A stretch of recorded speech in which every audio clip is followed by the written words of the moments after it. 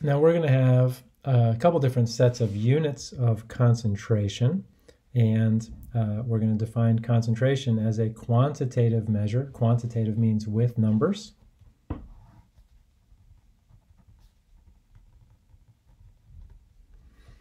Whereas qualitative means without numbers generally or without specific detailed numbers. So quantitative measure of the amount of solute in a given amount of solvent.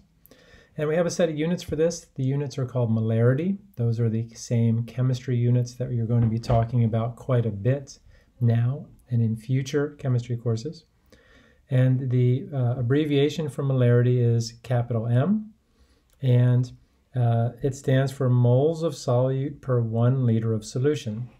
And as we'll see, I will usually do something like this, blank M, which is for molarity. And uh, in this case, we'll be talking about sodium chloride. So I'll do blank molarity sodium chloride because the molarity tells you what units it is for the concentration and the sodium chloride tells you what your solute is.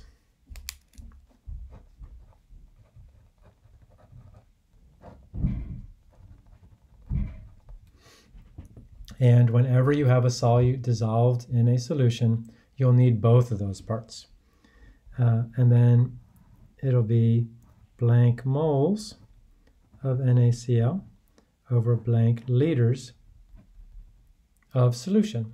And uh, oftentimes problems, as we'll see, will uh, give you two of these three numbers. These blanks are for numbers. And uh, you'll have to find the third. Now, uh, before we do some problems, though, I want to talk about how to make a solution. And uh, hopefully you can see this. So we've got a volumetric flask here. And a volumetric flask is the best way to make a quantitative concentration of solution.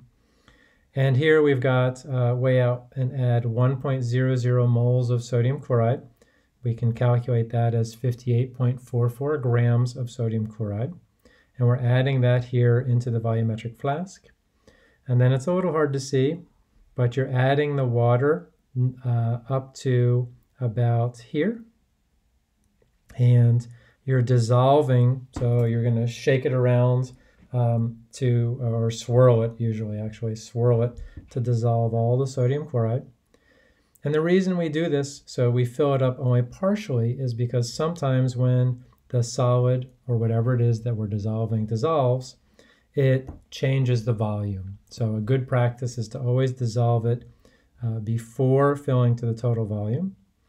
And uh, what I mean by the total volume is inside this, you're going to add water until solid is dissolved, then add additional water until the one liter mark is reached. And so the one liter mark on this volumetric flask is always on what's called the neck of the flask. And the neck of the flask is this portion here. And the line is right here.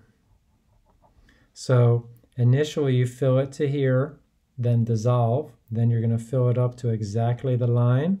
And that is hard to see, but the solution is filled up to exactly this line. It's then mixed again to make sure that all of this is uniform and homogeneous. Um, and you get, let's see, so you have 58.44 grams, which will convert into moles. We have 1.00 moles of sodium chloride.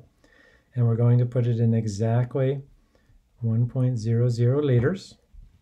And 1 divided by 1 creates a 1.00 molarity and a solution of sodium chloride. And sometimes we, uh, our cute nickname for molarity is molar. And so one way of pronouncing this is, well, we can just say 1.00 molarity sodium chloride and go ahead and write that down here. And then you can also say 1.00 molar sodium chloride and write that down here as well those are the pronunciations of this set of units.